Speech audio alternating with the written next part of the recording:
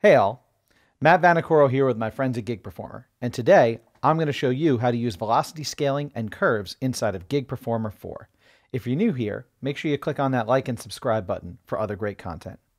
So let's check it out. We're going to start out with velocity scaling, uh, as understanding that will help you with some more advanced curves. So let's just check out this sound. I've got a nice little piano sound going. You can see I've got a MIDI in going to a Keyscape piano. Okay, sounds pretty good.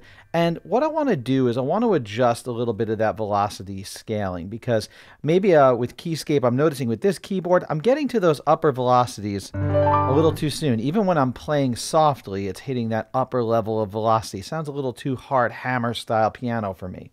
So what I can do is I can open up the MIDI input and from there I've got this velocity curve right there that I'm able to adjust and I can scale it and I can decide if I want to get there slower or faster. So I'm going to click on the curve and open it up.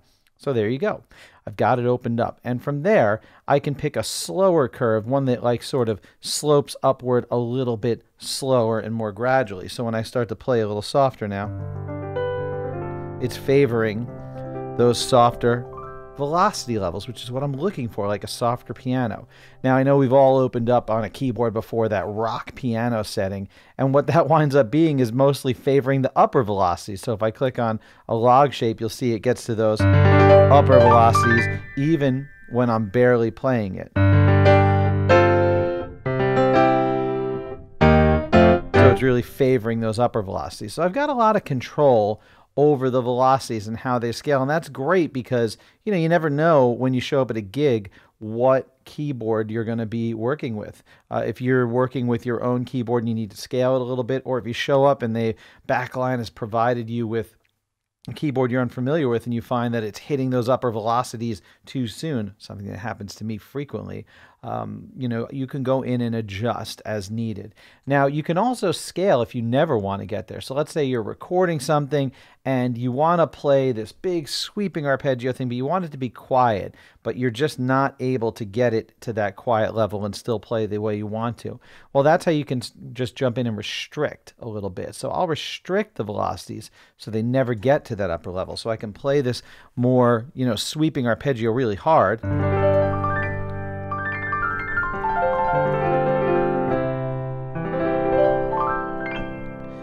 And never get to that upper velocity. And I can restrict it as much as I want. So if I want to really hammer away at it and don't worry about the velocity, but feel confident it's never going to get to that upper end,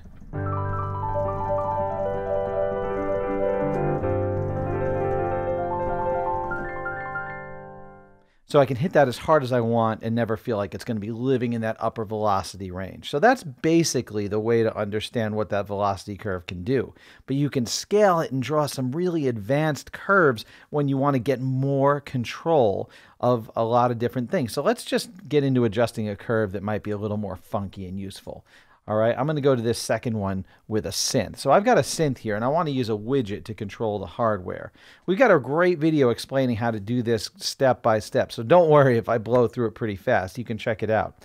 So what I'm going to do is I want to get one knob to control synth cutoff. I've got a knob right there, okay? I'm going to go into the editor and edit that panel, and I'll click on the widget. And from there, what I'll do is I'll pick the plugin that I want to control, my Juno plugin, and I can just search really quick uh, so I'll look for that VCF cutoff. There it is. So now that's controlling the VCF cutoff. Now I'll go to MIDI and I want to assign that to a MIDI um, you know, controller. So I'll hit learn. I've got a nice little MIDI controller here that I can control it with. So there it is. I'm all done. My knob, my pedal is now controlling that widget and the widget is controlling the filter cutoff. Let me play and see how it works. All right, it's working. Definitely controlling that cutoff. But the problem that I'm noticing is that when I go to the minimum level of the cutoff, the sound completely disappears. Well, I don't want it to go to zero, really. I just want to get that cool, you know, Tom Sawyer esque swell, uh, but I don't want it to disappear totally. So I don't have to worry about that. I don't have to remember, oh, just don't go to the lower end. I can set up a velocity curve here that will control that and never let it get to the bottom. So if I go to the value, you'll see that same little graph that you saw when I opened up the, the MIDI uh, block. So I'll scale it up a little bit and make the minimum value 20. There you go. And notice the graphic. So the knob itself turns all the way. I still get 100% knob rotation, but if you look around the edges, there's a strip that shows me what the minimum value is going to be. And I can change the maximum value if I don't want it to fly too far. So if you look, see that strip adjusting as I lower the maximum value? There we go.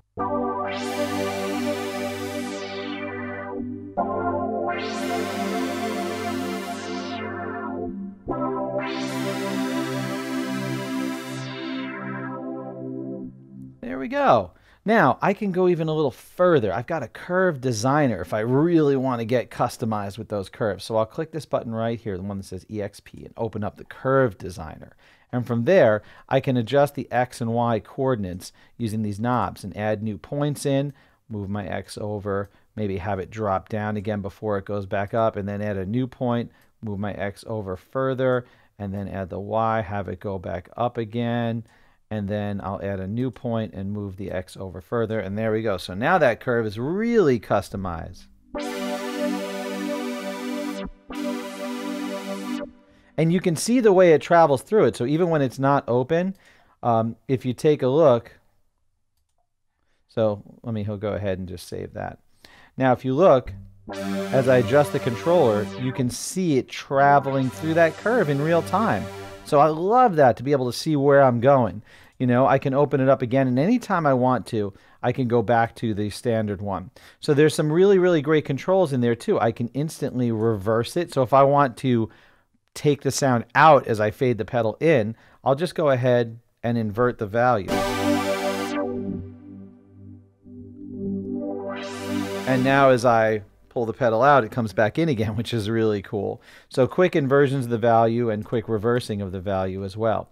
And the final thing is if you want, I can draw with the mouse. So one of the things I love to do is sometimes to introduce a little bit of chaos, right? So I'll just put in some blips as it goes if I wanted this to be noisy. And now, as I go through those curves,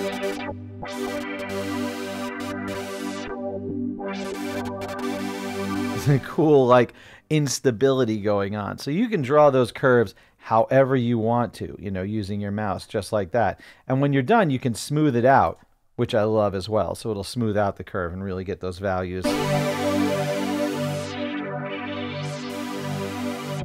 where you want to. And that brings that chaos into it. Now, if you like the chaos of that, you'll love the probabilistic sound designer.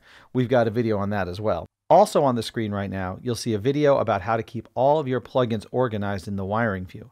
Go ahead and check that out to learn how Gig Performer 4 helps you keep your workspaces neat quickly. And if you haven't tried Gig Performer yet, you can click on the link in the description for a free 14-day trial.